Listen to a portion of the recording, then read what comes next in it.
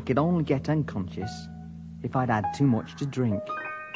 There was somehow something wrong somewhere, and each day seemed grey and dead. The seeds of desperation were growing in me head.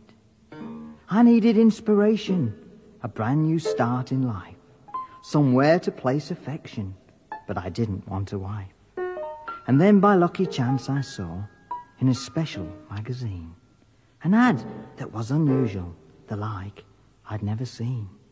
Experience something different with our new imported toy.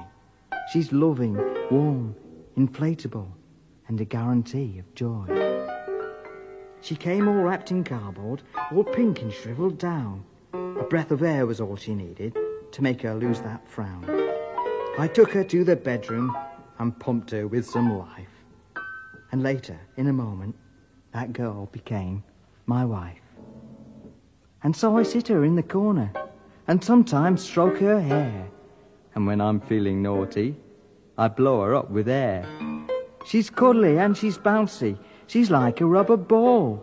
I bounce her in the kitchen and I bounce her in the hall. And now my life is different since Sally came my way. I wake up in the morning and have her on a tray. She's everything they said she was, and I wear a permanent grin. And I only have to worry in case my girl wears thin.